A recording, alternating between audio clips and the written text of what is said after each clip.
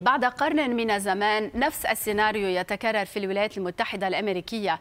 خلافات عميقة تلقي بظلالها على افتتاح الكونغرس.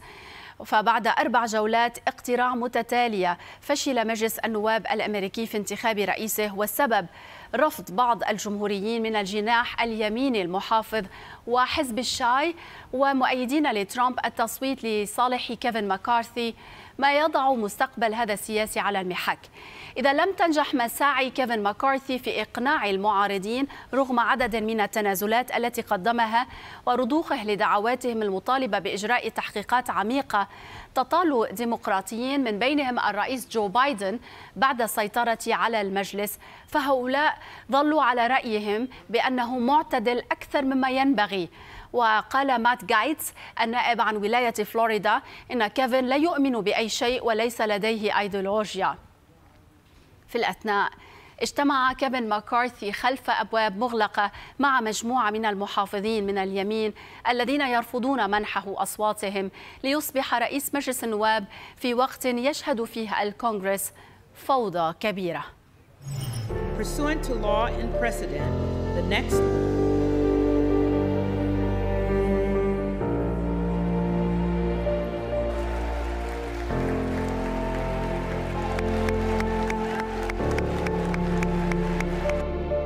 Washington's broken. We're the last ones to know.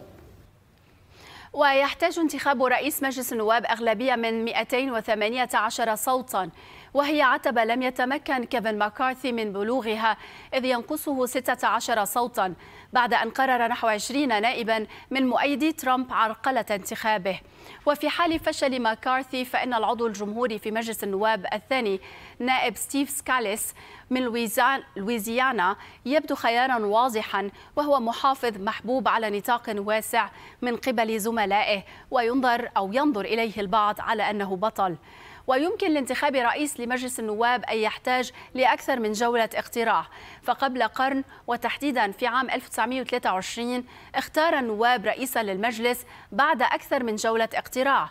وفي عام 1855 لم ينتخب النواب رئيسا للمجلس إلا بعد شهرين و133 دورة اقتراع. أما ترامب فقد كتب على موقع تروث سوشيال بعد إرجاء جلسة مجلس النواب أمس. كتب يقول إن هناك الكثير من الاضطرابات غير المبررة في الحزب الجمهوري. محملا ميتش ماكونيل بشكل خاص مسؤولية الانقسام محذرا من تحويل النصر إلى هزيمة محرجة.